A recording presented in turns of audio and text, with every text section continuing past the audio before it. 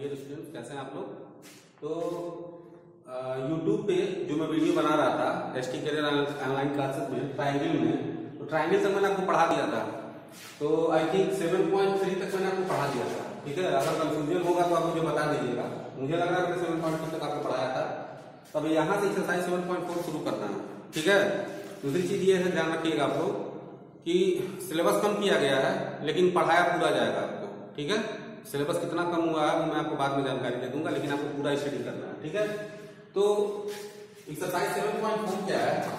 ये एक होता है मैथमेटिक्स में inequality relation inequality relation ठीक है?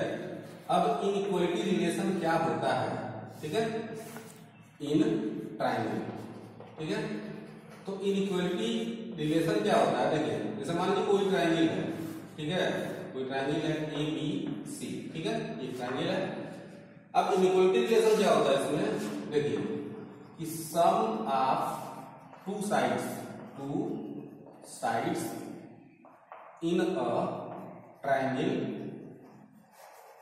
is always greater than greater than third side ठीक है? किसी भी ट्राइंगल में अगर दो साइड का सम निकालते हैं तो हमेशा क्या होता है? तीसरे साइड से बड़ा होता है। जैसे मान लो, अगर हम A B plus B C करते हैं तो ये हमेशा ए सी से क्या होगा? बड़ा होगा। ए बी और बी सी जोड़ेंगे तो ए सी से बड़ा होगा। अगर ए बी और ए सी जोड़ेंगे तो ये बी सी से बड़ा होगा। ठीक है? और ए सी और बी सी जोड़ेंगे तो क्या होगा? ये ए बी से बड़ा होगा। बात समझ में आ रहा है? तो कभी भी देखो, कोई भी ट्राइंगल तभी पॉसिबल होता है जब उसके दो साइड का सम तीसरे साइड से क्या होता है? बड़ा होता है। दूसरी इसमें इंपॉर्टेंट समझने वाली ये है, देखिएगा, ध्यान से समझिएगा इसको, क्या है वो? कि जैसे मान लो, ये ट्राइंगल ए बी सी ठीक है? फिगर दिख रहा है ये ऑप्टिज एंगल ट्राइंगल है, ठीक है? ये एंगल आपको दिख रहा है कि सबसे बड़ा है, ठीक है? तो एंगल बी जो है मैं लिख सकता हूँ कि एंगल सी से बड़ा है। देखने से लग रहा है ना बी सी से बड़ा है। ठीक है? तो देखो, जो एंगल बड़ा होता है किसी ट्राइंगल में तो उसके सामने का साइड भी क्या होता है? बड़ा होता है। तो एंगल बी एंगल सी से बड़ा है। तो इस ट्राइंगल को अगर हम देखें तो बी के सामने का साइड कौन है? ए सी है। ठीक है? और सी के सामने का साइड कौन है? देखो सी के सामने का साइड कौन होगा? ए बी तो ए सी क्या होगा? ए बी से समझ में आया ठीक है इसको सीधे ये कह सकते हैं कि जो एंगल बड़ा होता है, ठीक है, उसके सामने का साइड भी बड़ा होता है और जो एंगल छोटा होता है। अब इसको रिवर्स में भी, इसका कन्वर्सन कैसे लिख सकते हैं? देखो, मैंने लिखा है angle B greater than angle C ठीक है? तो बी सी से बड़ा है तो इसका दूसरा अर्थ क्या होगा? कि सी जो है बी से क्या होगा? छोटा होगा। ठीक है? देखो, जहाँ पे इक्वल साइन नहीं लगाते हैं, और ये बड़ा है, छोटा है ग्रेटर देन लेस देन का साइन लगाते हैं, उसको हम इनइक्वालिटी कहते हैं। ठीक है? जैसे यहाँ पे क्या था? दो साइड का सम तीसरे साइड से बड़ा है। किसी को इनइक्वालिटी रिलेशन था इसका उल्टा क्या होगा? कि एंगल सी अगर एंगल बी से क्या है? छोटा है तो सी के सामने का साइड कौन होगा? ए बी ठीक है? और ये क्या होगा? ए बी जो होगा, वो बी के सामने के साइड ए सी से छोटा होगा। ठीक है? This is called as inequality relation in time बात समझ में आया? तो अब आते हैं हम इसमें एक्सरसाइज सेवन पॉइंट फोर बहुत ही इंपॉर्टेंट एक्सरसाइज है ठीक है? आप इसको बहुत ही ध्यान से समझिएगा, ध्यान से लगाइएगा इसको। एक्सरसाइज सेवन पॉइंट फोर ठीक है? इसमें देखिए, पहला क्वेश्चन ये कह रहा है कि so that in right angle triangle the hypotenuse is the longest side ठीक है? राइट एंगल ट्राइंगल क्या होता है? कि ऐसा ट्राइंगल ठीक है? जिसमें एक एंगल क्या होता है? 90 डिग्री होता है। ठीक है? और 90 डिग्री के सामने वाला जो साइड होता है, उस साइड को हम क्या कहते हैं? हाइपोटेनस कहते हैं। क्या कहते हैं? हाइपोटेनस ठीक है? 90 डिग्री के सामने वाला साइड होता है क्या होता है? हाइपोटेनस होता है। तो हमको दिखाना है कि इस ट्राइंगल में जो हाइपोटेनस है, वो हाइपोटेनस क्या होगा? लॉन्गेस्ट साइड होगा, सबसे बड़ा होगा। सबसे बड़ा होने का मतलब ये साइड ए से भी बड़ा होगा और ये साइड बीसी से भी बड़ा बात समझ गए? तो देखिए इसको कैसे हम लगाएँगे ठीक है? तो सबसे पहले लिखेंगे गिवन गिवन गिवन मतलब कि जो इंफॉर्मेशन दिया रहता है।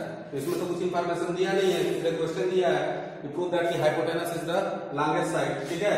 तो हमने ट्राइंगल बना दिया है ना, इस ट्राइंगल का ट्राइंगल को एक्सप्लेन करेंगे क्या क्या है देखो in triangle A B C ठीक है? Angle B equal to 90 degree क्या है? 90 डिग्री है। और ध्यान रखिएगा 90 डिग्री के सामने का साइड क्या होता है? हाइपोटेनस होता है, ठीक है? And A C is hypotenuse hypotenuse ठीक है? अब हमको क्या करना है इसमें? टू प्रूव ठीक है? टू प्रूव करना है कि hypotenuse hypotenuse AC is longest side longest side ठीक है? AC लॉन्गेस्ट साइड अब देखो, कहने का मतलब है तीन साइड होता है ट्रायंगल में AC लॉन्गेस्ट है तो इसका मतलब हमको ये प्रूफ करना है कि AC जो है AB से भी बड़ा होगा और AC जो है BC से भी बड़ा होगा। अगर ये साइड इससे भी बड़ा है, इससे भी बड़ा है, तभी तो लॉन्गेस्ट होगा।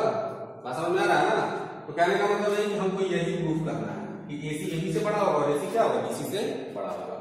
प्रूफ देखिए, ध्यान से देखिएगा। एकदम ध्यान से देखिएगा। एंगल बी इक्वल टू कितना दिया है? 90 डिग्री दिया है ना? इसको मान लीजिए रिलेशन नंबर वन मान लिया वन ठीक है? बात समझ गए और आप पढ़े हैं कि किसी भी ट्राइंगल में तीनों एंगल का सम कितना होता है? वन एट्टी होता है। समझ में आ रहा है।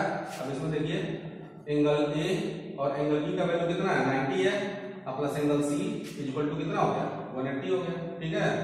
तो angle A plus angle C is equal to 180 plus 90 इधर आकर क्या हो जाएगा? माइनस 90 हो जाएगा। ठीक है? तो angle A plus angle C 180 में से 90 जाएगा। कितना बचेगा? 90 ये हो गया इक्वेशन नंबर 2 ठीक है? अब जरा दोनों को क्या करिए? कंपेयर करिए। वन और टू को कंपेयर करिए। ठीक है? कंपेयर करिए, देखिए, दोनों में क्या है? दोनों का राइट हैंड साइड बराबर है। राइट हैंड साइड बराबर होने का मतलब होगा, दोनों में राइट हैंड साइड कितना डिग्री है? 90 डिग्री ठीक है? तो जब भी राइट हैंड साइड बराबर होता है तो लेफ़्ट हैंड साइड भी क्या होगा? बराबर होगा। तो इसका कंक्लूजन हम ये लिख सकते हैं कि एंगल बी इक्वल टू हो जाएगा angle A plus angle C ठीक है? एंगल बी इक्वल टू क्या हो गया? Angle A plus angle C हो गया। Angle B equal to angle A plus angle C ये हमको रिलेशन मिल रहा है, ठीक है? अब ध्यान रखिएगा। अब एक चीज़ देखिएगा एंगल बी ए और सी दोनों के सम के बराबर है, ठीक है? जैसे मान लो मैं लिखूं देखो five equal to two plus three सही है? फाइव इक्वल टू और थ्री के सम के बराबर होगा five equal to two plus three ठीक? अब देखो, जब five equal to two plus three है, ठीक है? तो इसका मतलब क्या है? फाइव टू से बड़ा है, तभी तो ठीक है? तीन और दो को जोड़ रहे हैं तो पाँच हो रहे हैं पाँच दो से बड़ा है। और इसका यही मतलब हुआ कि पाँच तीन से भी बड़ा है। बात समझना ठीक है? अब वही चीज़ मान लो कि ये एंगल बी है और ये एंगल ए है और ये एंगल क्या है? सी है।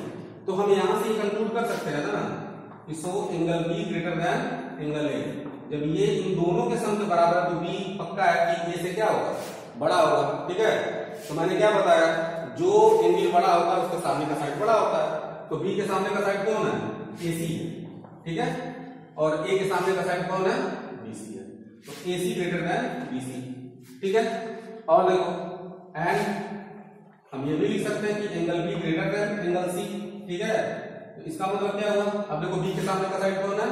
ए सी ठीक है? और सी के सामने का साइड कौन है? ए बी ठीक है? तो कहने का मतलब क्या हुआ? हमको यही प्रूफ करना था ना कि एसी एबी से बड़ा और एसी बीसी से बड़ा है। हमने प्रूफ तो कर दिया। एसी बीसी से भी बड़ा और एसी एबी से भी बड़ा है। ठीक है?